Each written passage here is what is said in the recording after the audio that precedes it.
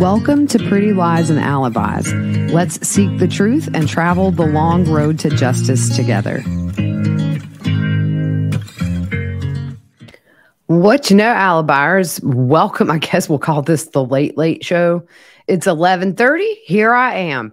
I have been busy all day between putting out a mega series episode and then going back and watching this and doing a million things in between. But I just got finished with the testimony. It was a very interesting day.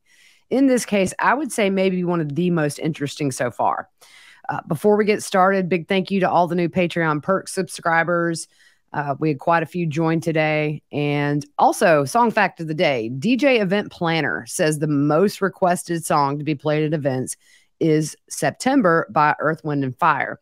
And I will tell you, I was born on September 21st. So, do you remember the 21st night of September? We always laugh and say my mom does because I was born that night. And also, I came so fast, she didn't have time for anesthesia. So, she definitely remembers the 21st night of September. All right. So, we're going to jump right in because there is a lot to cover. And the day started with the cross exam of Chelsea Robinson, or the continuation, I believe. Uh, she is the mother of Frankie's oldest son who was there in the house when Frankie and Hannah Hazel were murdered. And ultimately, I think the the thick of it was that she said George and Frankie were friends until Hannah May had tried to get her to kind of be friends with George. And Frankie cut off communication with George after this and also told Chelsea not to talk to George. So the next witness was Jeff Tackett, and he opted out of being recorded audio and video. I hear he was quite the entertaining witness at times. Um, I wish I could have seen the cross because I hear he kind of fired back with uh with that cross exam. But it's kind of random the order this goes in just because um, I have to give a big, big shout out to Big E uh, Chasing Paper 89 on Twitter. He's been sitting in every day. And so whenever a witness doesn't opt in to be recorded, he'll shoot me the notes and lets me kind of feel like I was there, got to listen. So thanks, Biggie. He's a great guy. Go follow him. And uh, yeah, he's a good dude. So Jeff and Billy were really close. They met as teenagers, and Billy called him a brother from another mother. And Jeff worked at Flying W Farms, which we know as Fredericka Wagner's doing odds and ends. And he said Fredericka was definitely the boss of that farm and she was super successful. Billy, his sister Robin, and his parents lived on the farm at the time that this, uh, right before the murders happened, as we know, because they said that one thing that stood out to them was the fact that Billy's phone spent the night at the Peterson Road address for the first time in a very long time. So he knew Jake and George since they were in diapers and he had watched him grow up. But he did say the Wagner family, as we've heard in the past, was like a cult, always together, super close. Uh, the boys were homeschooled by Angela. He said Angela and Billy had a really rocky relationship. And at one point, Angela just packed his clothes and threw him out when they were living on Peterson Road. She was definitely closer to the boys than Billy was, according to Jeff. He did meet Chris Sr. at Billy's house because Chris Sr. wanted to get into the chicken fighting business.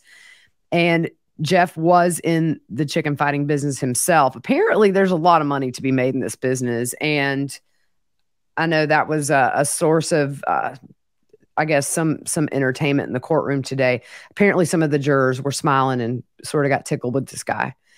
He said he and Billy hunted together on the Flying W property he said Billy was a great hunter. And at one hunting trip, Billy killed a 10 point buck. And George got so mad that he didn't get to kill it that he went home. Mm, like a baby. Chris Sr., his kids, Jeff, Billy, Kenneth, they all would go to chicken fights together. He had seen George's wife, Tabitha, a few times, but didn't really know her well. And he did say that Kenneth and Chris Sr. were like brothers. He had bought marijuana from Chris Sr. for personal use. And he said Chris Sr. and Billy were so close that at one point they cut their fingers and pressed them together and became blood brothers. So, but when Jake and Hannah Mae started dating, Jeff warned Chris Sr. if you had trouble with the Wagners, they would either hurt you or kill you. And that's very um, foreshadowing for sure. But guys, get this. Okay, I, look, what a moron. Billy had a pocket sewn into a jacket and he would shoplift. Okay. You know where he would shoplift? At the dollar store. Who shoplifts at the dollar store? I guess maybe because it's like a misdemeanor if you get caught because it's not, not worth a lot, but still. Jeff said it made him and Chris Sr. super uncomfortable when they were with him. Billy had told Jeff that he had gone to Mexico at one point and killed a bunch of people as well. Billy told him that Jake and George burned down a house with a turkey baster and also that they had burned down a second residence and they had collected $250,000 in insurance money from these these fires they set. At one point, Billy was illegally selling a tractor full of Rocky boots at the fairgrounds, and he and Angela were arrested, both of them. And he told Jeff Angela would never snitch on him. Well, that didn't age well, did it? Not at all. At this point, they were still living at that Bethel Hill address when that happened. So, also, uh, Chris Sr. was at that Bethel Hill house when it burned down and actually was the one that called 911. He had been to Frankie and Kenneth once and he had been to Chris Sr.'s a lot. And he said that Chris Sr.'s dogs were mean. He said Billy liked pain pills, mainly Percocets, and would get them from his mom because on her property or right near her property, she owned a group home for adults with um, severe mental challenges. And I guess she was able to keep him drugged up. Jeff said he was one of the few that was allowed into the Flying W house. And Billy actually wanted him to move in after the death of his father, but Jeff didn't move in. And about a week before the murders, Billy threw his hip out, get this, while stealing semi truck parts with Jake and George. I mean, talk about like bonding activities with your sons, nothing like, you know, grand theft. He asked Jeff to come help him get it back into place. And apparently, his sister Robin just let Jeff come into his bedroom. And so Billy was super upset with Robin because Jeff came in and saw a Billy Club uh 22 caliber Hornet gun, full metal jacket, a vest and a holster, and 30 round clips. Jeff said he was incredibly nervous seeing all this stuff. And he said, Billy, you're going to kill somebody. He said he didn't know who, and Billy didn't tell him. Billy also said he had ordered a brass catcher. So he learned of the murders on TV and he actually called law enforcement a couple of days later he said at one point Billy showed up at his house crying and super upset, saying he couldn't stand himself. But he also said Skip Montgomery, some dude named Skip Montgomery, who I don't think we've ever had any proof this guy was ever involved in anything ever, not even drugs. He said Skip Montgomery did it because he was cut out of a $2,000 or a 2,000 pound marijuana deal. But Jeff said he knew it was Billy. So on cross, Parker wanted to know about these chicken fights, and Jeff said Billy asked him to go with him once to Mexico. This was after the murders, actually, but he didn't go. And when he asked how much you could make with the chicken fights, he said he saw someone in Oklahoma make half a million dollars. And during that fight, some guy must have died. And so these other fighters were throwing like money, $14,000 into this pit to pay for this guy's funeral. He said they're generous people. Um, he said Billy owed Chris Sr. $40,000 and that $20,000 Chris Sr. was holding of Billy's was taken by law enforcement after the murder. Now, here's the thing Jeff worked for BCI and wore a wire for them to try to get something out of Billy, confession wise, about the murders. Uh, but when he went to the Peterson Road address, which was four or five times, Billy just gave him the cold shoulder, and he was paid a hundred dollars each time he wore that wire. Which, if you think about it, that's it's a really bad deal for you know. What if they would have found out he was wired? I I don't know. I mean, these people, they're crazy. When asked about the arson, Jeff said law enforcement was told Jake and George had tried to deep fry a turkey, and that's what caught the house on fire. He said Chris Sr., from what he understood, had about 2,000 pounds of Mexican marijuana coming in. He said Billy was the absolute craziest guy he knew, and that Chris spent a lot of time at Billy's. And Jeff thought it was possible Chris Sr. may have had something going on with Angela. It's the first I've ever heard of that. At one point, Billy had divorce papers drawn up and he said Angela nagged him constantly. I mean, I could totally see that. You see how controlling she is with the boys, and you're going to hear a lot more of that with the next two witnesses. But um, he didn't go to law enforcement before the murders because he was in fear of his life. So, um, and Jeanette Le- uh, Levy from Law and Crime said he seemed nervous, except for when he was talking about the chicken fighting, and he made some of the jurors smile with his testimony. So the next witness was Samantha Staley, and I'm going to tell you, she she was shaking. I thought she was shaking just like her body, but Biggie said she was shaking her leg the whole time. Um, her dad worked for Fredericka on the Flying W Farms. And I have to tell you, this I don't know that okay, first of all, this girl's sweet as pie. She is just super genuine and you can tell she's got a really good heart.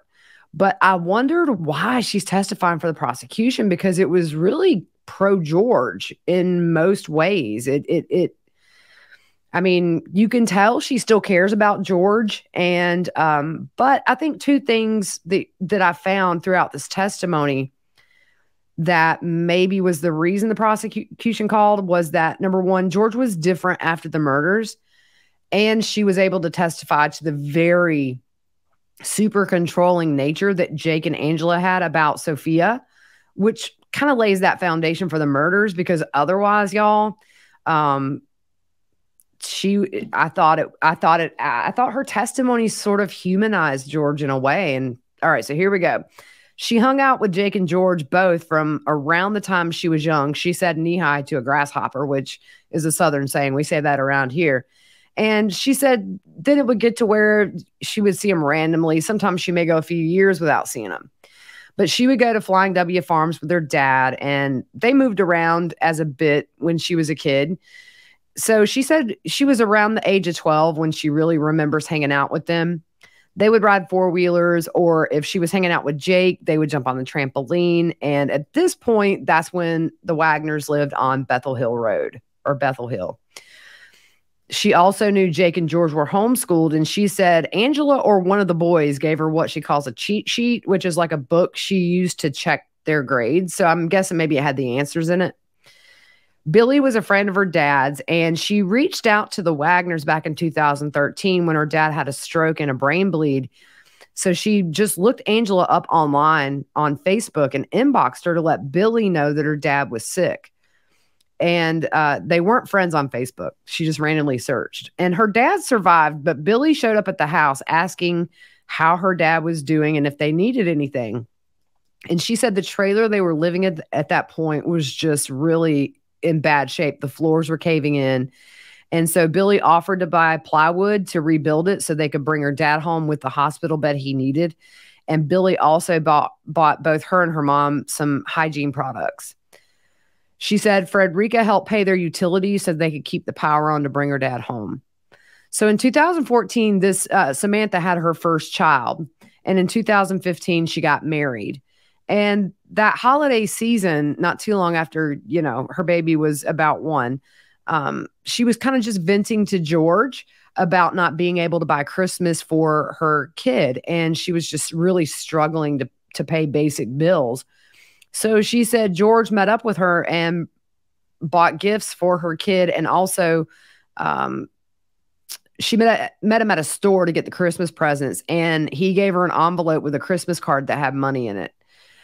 She said she did not have great interactions with Angela. And she said she's one of a kind, very quiet, and she said observant. And she didn't feel welcomed at all by Angela when she was around her. She said the boys would have to hide the fact they were in contact with her from Angela. And Billy also didn't want her to tell Angela that that he had helped her family. So you you just but see, here's the thing with me, and I'm just like, okay, we're into week four. Okay. And I think I'm on day 15 twice here because I mistakenly put it last week. I think this is actually day 15. But I have to say right now, and I'm sure that they have goods because they've charged him with a lot of murders with death on the table until Jake confessed. But I haven't heard anything yet that super implicates George. other than, you know, um, there's no DNA. There's a. I'm just saying. So I'm not saying he's innocent. I'm just saying that we're four weeks in, and all I've heard about is Jake and Angela and Billy. Really. So I, I hope they're saving kind of the the best part, not the best part, but the most incriminating part for last, right before the defense takes over, because really, maybe this is all foundation laying, because nothing so far as I've, I've, I've not had an aha moment and said, ah, there, there's where he fits in, other than Jake's word. So, anyways, I just thought I'd throw that out there. Um, she said the family was super close. If one had an opinion, they all had that opinion, and one couldn't do something without the other knowing. She said she thought if Angela said something needed to be done, they'd do it. She said around 2012, actually, uh, Jake, oh, okay, sorry, that scared me. So my dogs have this automatic water thing that you know you fill it up, it's like a gallon, and it just made some kind of funky noise. And it's late, y'all. Everybody's asleep in here, but me. Um, so Jake called and said he did not know how to be intimate with a woman and asked if she could help him out with it. And she said she was young and stupid and said yes, and they did what they did. So, when asked if she liked Jake or George better, she said it was kind of a hit and miss question. She said she was pushed towards Jake by both Angela and her mom from when she was little, but she said her and George had more of an emotional mental bond. She didn't know they moved from Bethel Hill to Peterson until she got a car finally in May 6, 2016 she called George to tell him about her new car and they started cracking jokes. He wanted to know, oh, yeah, you got some new wheels. Is it like an ATV? And she wanted to show him. So she said, I'll come by your house. So he told her they moved and gave her that Peterson Road address. Well, when she got there, she kind of felt like she was being rushed. Now, her husband was with her on his four wheeler, and George was kind of looking back at the house, almost like he was expecting somebody to come outside. And she said they were actually towards the end of the driveway, but Angela was constantly looking out the window. She said they were there not quite an hour and then they left. George told her they moved because his grandma sold the property from underneath them. The defense objected before she could answer. And poor thing, she looked scared to death the first time that there was an objection. She looked like she didn't know what to do. She knew the Rhodens. She knew Chris Sr., Dana, Frankie, Hannah Mae, and little Chris because she went to school with Frankie and also dated him from the middle of seventh grade to about the end of the ninth grade. She had been to Chris Sr.'s home and what was Frankie's mom's house, which eventually became the house he and Hannah Hazel were killed in. Um, he had, she had been to both those properties, but she said actually that Frankie stayed more with his dad and that little Chris and Hannah Mae stayed with Dana. She said Hannah Mae and little Chris were wild ones but they were all friendly together. And she told a story about accidentally hitting Hannah Mae in the chin with a softball, and Hannah Mae was bleeding everywhere. And she said right before her and Frankie broke up, she got in trouble. She didn't elaborate, but she wasn't allowed to hang out with Frankie anymore. So she said she conned George to hang out with her, and they picked Frankie up and went fishing. And she said the three of them ended up sleeping in a shack together on Bethel Hill. She said hers and Frankie's breakup wasn't bad at all. She didn't stay in touch with any of the Rhodens, but they were always friendly if they saw each other out. She said it was just, you know, that high school thing where, you know, you date in middle school, get to high school, realize, okay, well, learned a few things, but time to move on. She found out Frankie had gotten his girlfriend pregnant and she said she was super happy for him. She had seen him at a gas station and he told her, and he was just so excited he was going to be a dad. She eventually stopped going to public school due to an injury, I think she said in track, and she started homeschooling. And she would randomly see Frankie out, and they were always friendly and would speak when they ran into each other. She found out the Rhodens and the Wagners knew each other, and it took her aback because she knew both families for a very long time, but didn't know that they knew each other. So, a couple of months after her and Jake were intimate, he told her he was getting together with Hannah Mae and she asked how they met and jake said that the whole families go way back so when asked if jake and frankie had a had any bad blood she said george had told her frankie and jake had gotten into it because jake had punched hannah May and frankie was defending his sister She also shared with Jake she had been molested as a child and they were in his truck when she told told him that. That's going to come in on in a little bit. The rest of that story. She never saw Billy and Chris Sr. together.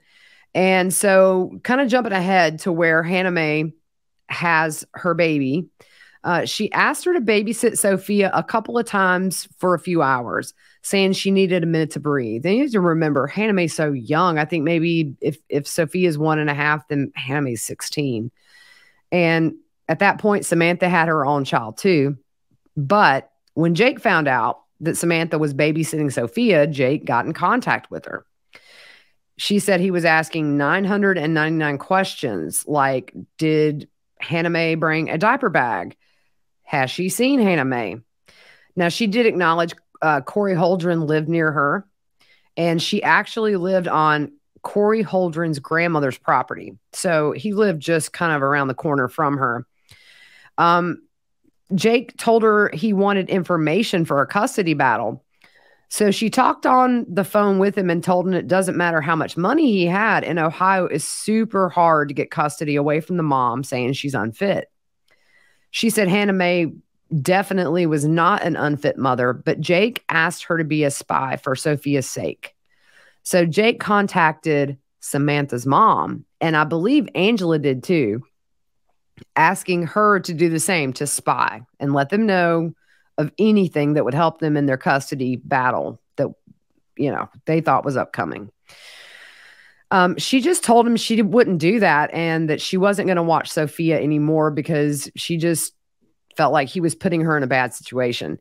And when asked how close to the murders this was she just really wasn't sure. She couldn't put her finger on this time frame. But if sophia's one and a half uh, you know, it's, it's probably still a couple of years, I think, before the murder. Um, it kind of um, broke up her and Hannah Mae's. Fr- she she just kind of stopped contact with both of them just to not be in the middle. And she saw Hannah Mae actually the day before she was murdered. Hannah Mae drove by and honked her horn, and Samantha came out of her house and said she wanted to see baby Kylie because at that point, um, Hannah Mae had her four days earlier. We know Hannah Mae was murdered when Kylie was five days old. And excuse me, Hannah Mae said she would be back. And she said she never came back, obviously. So the next day, her mom said, You're not going to believe this. Turn on the TV. So she turned it on and saw they had all been murdered. She called her husband at work and told him to come home. And she said Frankie was the first boy she loved. And it was a lot of trauma at one time. She really does smile every time she talked about Frankie. You can tell it was very pleasant memories and um, a lot of hurt with the trauma that um, that that she felt after the whole family was murdered. But after the murder, she did go fishing with George and her husband, and she said it was within a month of those murders. And during that fishing trip, she said he just wasn't the same George she knew. She said he looked sad, lost. He looked dead inside, and he didn't have the crooked smile he always had. And you know, you can really see the pain in her eyes. Um, in fact, one thing about George I noticed when she was testifying, normally if you watch this trial live, George always kind of has the same um, expression on his face, and it's kind of just um, he looks mad. But when she was testifying, now y'all don't start attacking me as a George supporter because I'm not, but I'm just saying it was the first time that I ever saw George just almost looking remorseful or sort of ashamed, or I don't know the word I'm looking for, but there was a difference in him when Samantha was on the stand. I think maybe she was just somebody he enjoyed being with. And you know, it, you could tell it really, really pained her. And she said he was always bubbly and it confused her. She said he almost looked like he had lost his pet or his best friend. That night while fishing, they were going to stay all night, but it started lightning. And George said, I don't fish in the lightning. So she said Frankie just popped up in her mind. And she explains that when she gets nervous or stressed out, she kind of rambles. And she's excuse me, y'all. Lord have mercy. She says when she, my lung went that way. She said when she's nervous, she rambles and she said, Can you believe this? They're gone. They're never coming back. And she said she was pretty much told by George to shut the F up. And she had seen George just a few days prior and this was after the murders, but she said it was dark and she couldn't really see him well, but he did seem nervous at that time too. So after the Wagners moved to Alaska, she kept in touch with George. She was telling him, Hey, look, all social media outlets are saying y'all did this and this is why you ran. And she said that George told her there's no way we all could have been there. Somebody had to be home with the kids. Well, Angela was. She told him that she had his back and she told people they were going to mechanic school and was telling them that he was just living his dream, not knowing they already had their schooling or their CDL license or whatever it was. And this is somebody that's going to come in later. This was randomly thrown in, and I had to text Biggie to ask him. Um, the prosecutor asked if he ever talked about Vance Walls to her, and she said no. Apparently, Vance is somebody who was dealing marijuana who will later be testifying in the trial. So the prosecution brings in these text messages between her and Jake. And Jake says, You've met Sophie? And Sam says, I babysit her, silly. Don't tell Hannah Mae I wasn't supposed to say anything. Jake said, What reason do you babysit her for? Because Sophia isn't supposed to be babysat by anyone besides my mom and Hannah's mom. Jake said, If you have time, call me. Sam said, I tried to call you. Jake said, Didn't come through. Jake said, Hey, Sam, I got another question. Does Hannah give you a diaper bag or a care bag, food, drinks, anything when she drops her off? Uh, Samantha says, Did you guys call my mom? Please be honest. Jake said, No. Why? I don't know her number. Sam said, Are you around your brother? And Jake said, Yeah, well, almost. He's downstairs, but I can run down if you want. LOL. And so the prosecutor asked, like, why were you wanting to know where George was? And she said, I was just want to know what he's doing she's adorable, y'all. She really is sweet. Um, I, I think she she um yeah, it's, it's hard, you know, because for her, um, she only has good memories of George and to have to stand up or sit up there for hours. It was a couple hours, I believe, and testify against him. Um, her nerves were apparent, and I know it was hard on her. Uh, Sam says, No, that's okay. I can't watch her anymore due to threats. She said she put treats in there, but she meant threats. She said that because she found out they, and by they, I, I assume she means Angela and Jake had called her mom and also asked them to. Um, she Angela had called from Jake's phone asking the same questions. Apparently, Jake said, "Can you text me everything we talked about because I'm going to use that against Hannah when I take her to court after her baby's born." Samantha said, "I'm so I'm sorry, Jake, but I'm no longer going to watch her. There's way too much going on, too much drama." to the point it's getting bad on my part, and to the point someone keeps calling my mother. I'm sorry. Jake said, Well, Sam, I'm not mad at you, but if Sophie calls you mommy, it's because Hannah's not even raising her. You are. If you do watch Sophie, just let me know that you do, okay? I don't want to get you involved more than you are. Just be a spy for Sophie's sake. She said every bit of that drama came from Jake and Angela. George didn't reach out to her on her or her mo- to her or her mother, to her knowledge. She said she stopped talking to Hannah Mae also because she just didn't want any part of it. She said she had her own life and her own drama. Um, and we said the next time she saw her was the day before she was murdered. She asked who brought Jake and Georgia, who bought Jake and George's clothes, and she says she didn't know. She said they mostly wore Carhartt. Jake wore American Eagle and Aeropostale, and always boots. She said she never saw the boys in a pair of sneakers ever.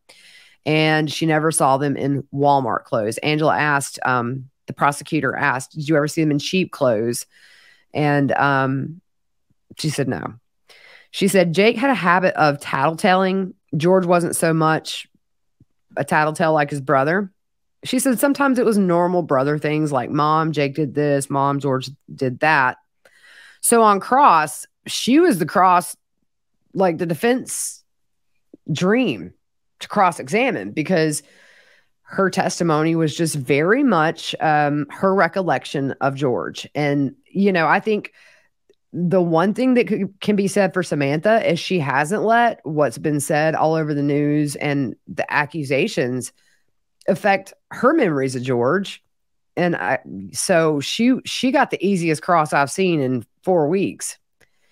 So the defense says you grew up with George from a young age. Yes. And then the defense asks, Has your dad recovered? And she goes through and says, You know, he's still partially paralyzed. apparently has problems with his memory. He may tell you a story that happened 30 years ago and tell you it happened yesterday, that kind of thing. So the defense asked, How would you describe George when he was young? And she said he was bubbly, really fun to be around. And then they asked, Was he shy? And she said, It depends. She said, If he was doing what I'm doing right now, meaning being up on that stand, he would shut down and he wouldn't talk. Um, the defense says George didn't have a lot of friends growing up on Bethel Hill. And she said, No. And then the defense says Jake and George were different personalities. And she said, Yes. The defense says, Was Jake a mama's boy? And yes, she said, in my opinion, George would go out and do his own thing. Jake would have to get Angela's opinion before he did anything. And if she didn't approve, he wouldn't do it. George kind of did his own thing.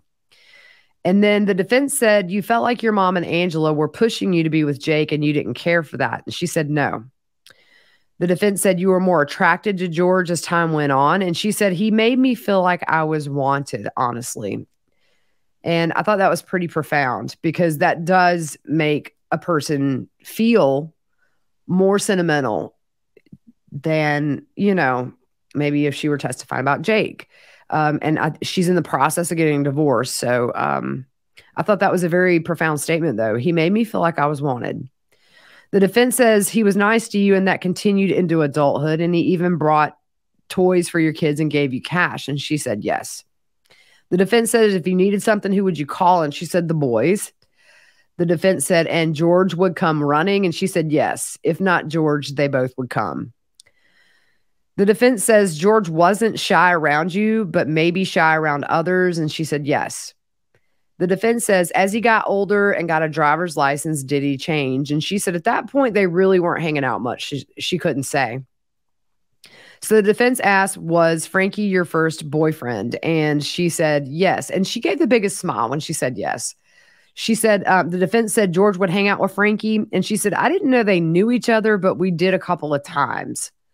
And the defense is really like pushing this whole Frankie and George were best friend theory with a lot of people. And then the hunting, and there's some things that in the 4th of July thing, there's, I've got a list over there of things that have been repeatedly said, but we have no context of why they're important.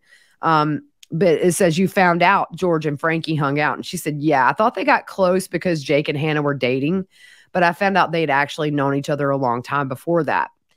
So the defense asked your relationship with Angela. What did you think of Angela as far as your relationship with her? And Samantha said she felt very uneasy around her and never felt welcome in her presence. Uh, she said, I felt she thought I would take one of the boys from her and she would keep them close. She said, I went to Jake's room. Angela didn't like it. The doors were open, nothing was going on. The defense said she liked to main- maintain control, and she said yes. The defense says, Did you date, date Jake for a time? She said, We were dating, but it wasn't a thing.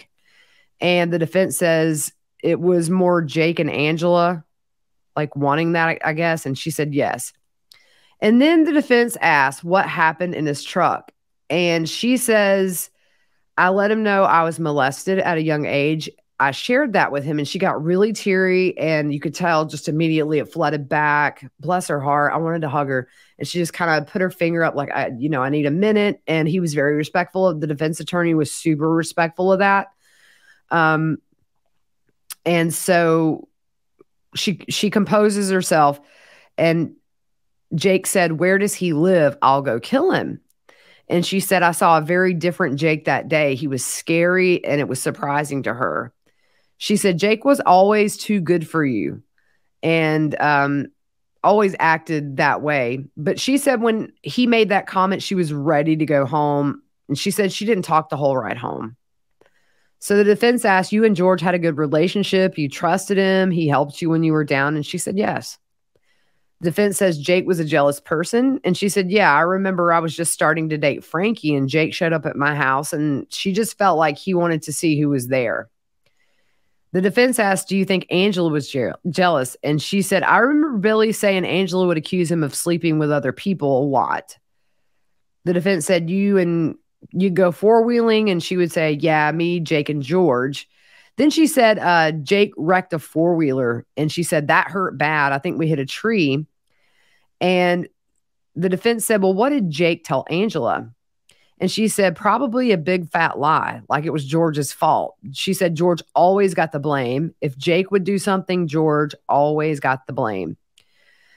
The defense said, You knew George was into deer hunting. That was his passion and hobby. He would eat the deer that he killed, he would skin them and like mount their heads. And the defense says Angela was protective of Jake, and she said yes. The defense says Dilly, um, Dilly, uh, dollar store Billy, Billy did not have a real job, and she said not that I know of. The defense said, Did you ever catch Jake staring off into the distance? Now, this got me all. I don't know where this was going. Um, and she, do you have a word? Did you have a word for that? And she said, squirrel.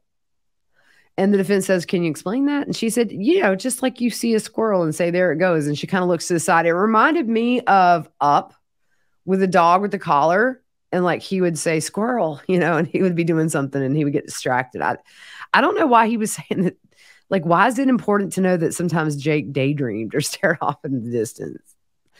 Um, so you the defense says you seem to think Jake was different than most guys growing up in the country. And she said Jake just thought he was better than everybody and could get away with a lot more. And she said he was very particular about his truck. If someone had muddy shoes, or I'm sorry, if someone had muddy shoes at Angela's house and she had just vacuumed, pretty sure it was Jake, George got blamed. And then the defense says Jake had a truck that he was very particular about. And she said, You don't get in with any dirt on you. Jake and the defense said he would ask people not to get in if they were dirty. And that Jake would ask people to put plastic bags on their feet if they had dirt on their shoes. And she said, Yeah, he said he would do that. She said one time he was dusting her off and like picking hair off of her before she got in that truck.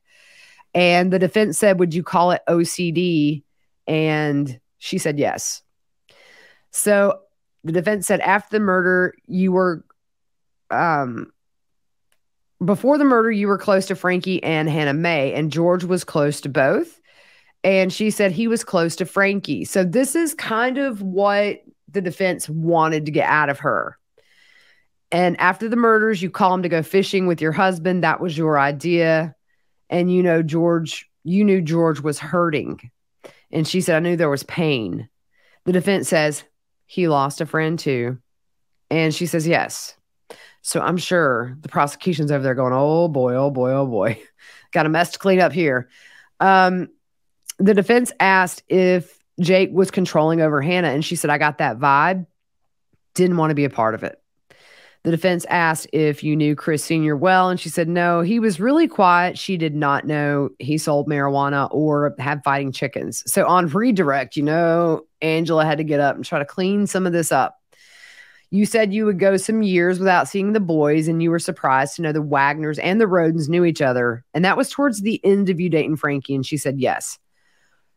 So the prosecution says prior to that, when you did hang out with the boys, you never saw the Wagners and the Rhodens together. And she said no. So she's asked, you you said you conned George to go fishing so you could see Frankie. And Samantha says yes.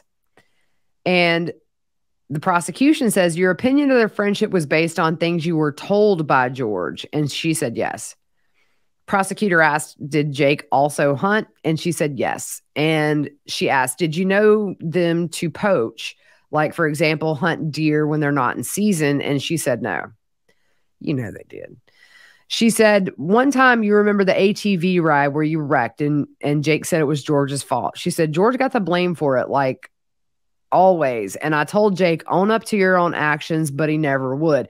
So when she said earlier that when she gets nervous, she rambles, she was serious about that because even on like redirect, it kind of got away from the prosecution a couple of times, I think. And it was sort of back more leaning towards that defense side for me.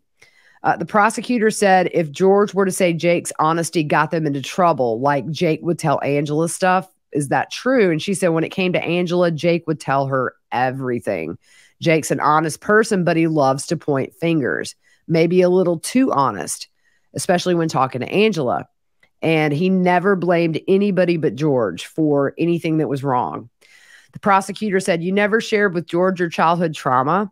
And she said, I don't remember. She said, I know the look on Jake's face is a look I'll never get out of my head. The prosecutor said, You said Jake and George were sheltered. And Samantha said, I felt if Angela told Jake to go jump off a cliff, he would do it. Prosecutor said you called the boys when you needed help. And she gave a really long story about um, her mom's van breaking down. And ultimately, she called.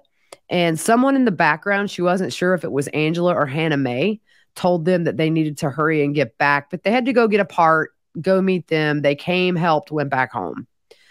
The prosecutor said, You were asked if you trusted George when you were young. Has that changed? And she said, I don't know who to trust now. I've questioned myself almost every other day if our friendship was a lie. So the cross, more cross, Vince got to get back up one more time, you know. The defense says, You don't know what happened that night. And she says, No, it was a tragedy. And the defense says, yes, it was a tragedy. So that was the end of Samantha's testimony. The last witness of today, who we did not get finished with, is Tabitha Claytor. Claytor. She was married to George, lived with the Wagners, and she is also the mother of uh, George's son and her oldest. I think it's Bovine. Now she's married with three kids. They're nine, five, and four, and she works as a nursing home at housekeeper. They met through her mom, who worked for Fredericka for about 10 or 15 years. And Fredericka owns that group home we talked about earlier for special needs people. And she said four or five typically live there, and her mom worked in that group home. So her mom would take her to work and she would hang out inside. And um, her mom also took her to Fredericka's, and her and George rode four wheelers to his house on Bethel Hill Road, which is about 20 minutes if you take the road, but five if you go like through the woods and over the hills. It was her, George, Jake, and her sister. She was about 12 years old at the time. And then they became, you know, 12 year old boyfriend and girlfriend. They continued kind of dating, I guess, movies, dinner, four wheeling, fishing, hunting. George broke it off when they were 13 and they're broken up for six years. But out of the blue, she gets an inbox from Hannah Mae on Facebook, who she doesn't know at the time. And Hannah Mae wanted to get them reconnected. So she said she was, J- Hannah Mae said she was Jake's girlfriend and wanted them to get back together. George sent her a friend request and they started to talk. And around this time, she's 18, 19, a senior in high school. And he's about three years older than her at that point. So he's, you know, 21, 22. They kind of pick up where they left off. It sounds like, you know, four wheeling, fishing, hanging out with friends. And then she started living over with the Wagners after a couple of months of them dating. At that time, she was the only one living there besides the Wagner family. And she actually graduated high school while living there. Her mom didn't mind because she knew the Wagners. And um, they got married a year after they started dating. So that was July 2012. I wish I'd pulled that picture up. I have it. It's the Rhodens and the Wagners at this wedding. I'll I'll put it on tomorrow. And uh, so they got married just a couple of months after she graduated high school. She got pregnant about eight months after they got married, and their son was born in July of 2013. At this point, she's still living with the Wagners. Hannah Mae moved in when she got pregnant, and Sophia was born a few months later. But she would, Hannah Mae would go home with her mom a couple of days a week here and there. But after Hannah Mae had Sophia, she started staying more with the Wagners. Tabitha wasn't leaving like Hannah Mae because she said she just wasn't allowed to. George and his family would not let her leave. There were some objections here about this, but ultimately, um, a lot of it was let in. Just they had to do a little more foundation.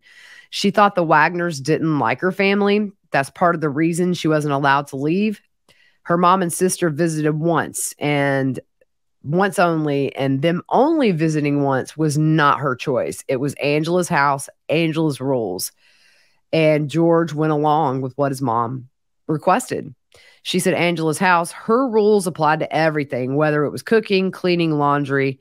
It all had to be done the way she wanted it, or you'd have to redo it, or she would do it herself. She lived with them a total of two years before she moved. So when her son was born, George and Angela were there. Angela spent the night at the hospital with her. George went home. She wanted her mom there, but her mom wasn't allowed there. So she said that kind of the daily routine while living at the Wagners, they would wake up, eat, go feed whatever animals they had, and then take care of the house. Also, if you get offended by um, like sexual stuff, you might want to skip ahead about 15, uh, 15 seconds because it's in mainstream media. Put just this way, I'm going to put it out there because it was actually really hilarious moment in the courtroom. There were rules from Angela about the sexual relations her and George could engage in, and she blurts out in court. Angela said, if you give oral sex, you'll go to hell because it's a sin.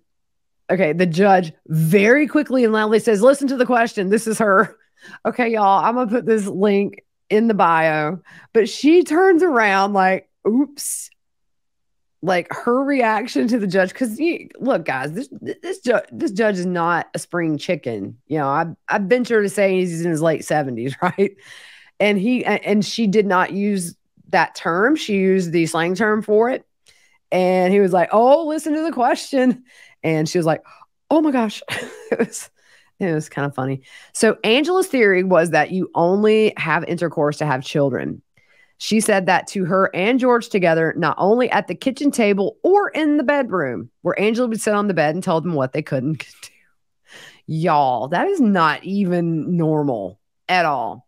She stayed in George's bedroom when she was allowed to, but towards the end of the night, every night she would have to leave so that Angela could come in and scratch George's back and ask about his day.